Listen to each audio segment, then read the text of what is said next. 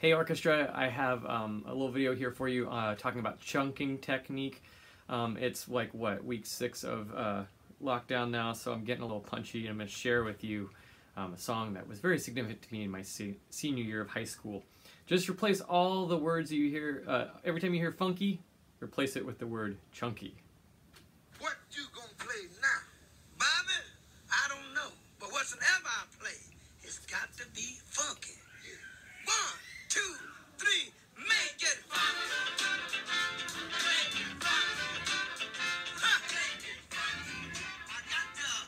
to Okay, and that's how I'm introducing a lesson on how to practice Bach.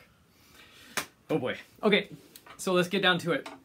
Um, what I have uh, picked here is um, a we're now about to get it up to tempo. And one uh, technique, there's amongst many, uh, for practicing things faster is to, to chunk it, measure by measure, um, phrase by phrase. So I've picked up the violin um, because it's not my main instrument, as you all know. And I'm going to show you kind of uh, a little brief uh, practice example of how uh, I use this um, on, on some passages in the Courante. Now, um, if you'll notice in this assignment, we've, we've ratcheted down the tempo from what I was originally thinking. Um, we are now at 70 beats per minute for uh, this movement. And um, so what I'm gonna do is see, tell you what, here I'm gonna show you an example that I'm a little more comfortable with. Uh, measure five and measure six.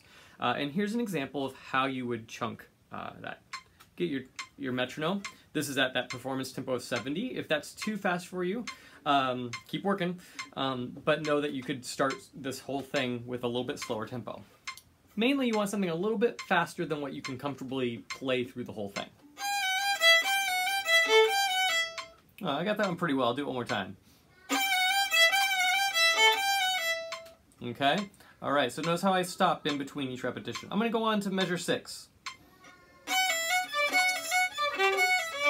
Wow, that crossing over to the G is hard in that position. You can do it. Third is even better, but um, I know some of you are going to use first. Here we go. Measure six. Again and go. I'm going to do it again. And again. Okay, let's say I practice that, feel pretty good. Now, the other key to this is not just do measure by measure, but then string together a few measures that you feel good about. Ready, and go, and.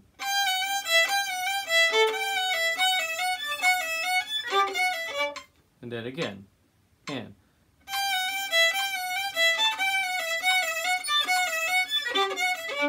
Okay? And I keep doing that until my bow control's a little better. Maybe a little more out on the bow would be a good suggestion for myself.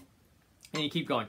And then you just keep adding in uh, a few more at a time. And that way, you your brain has a chance to catch up, and then it kind of has a chance to practice the sequence of what it needs to remember to come up next.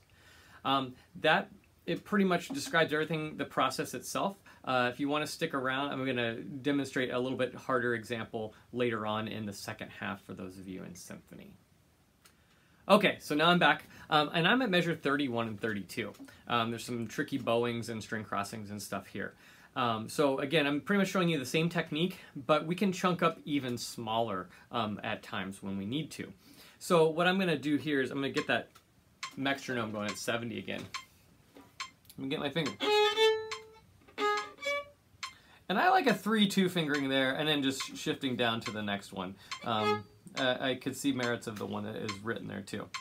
And let's say, so we got 3 to a bow, so... Okay, I've almost got it, but I can't get it so totally automatic. I'm just gonna do the first 4 sixteenths. Mm.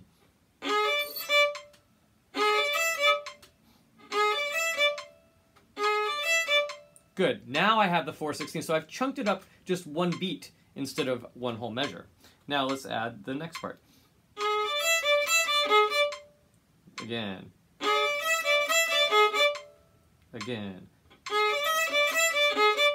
And make sure you give yourself plenty of time. I like keeping it in the time signature um, so that I keep that pulse, but you can do it other ways. And there's the whole measure again.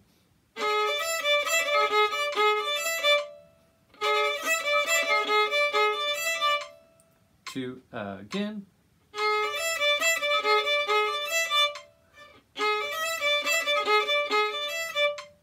So, anyway, my point being, you can chunk it up a little bit uh, smaller even and see if that helps you as well. But it's important that we force ourselves to make that jump to a faster tempo, even if it means we're playing smaller bits at a time. So good luck with this technique. Um, make it chunky, and I will uh, hopefully see you in a Zoom later this week if I haven't already. Bye-bye.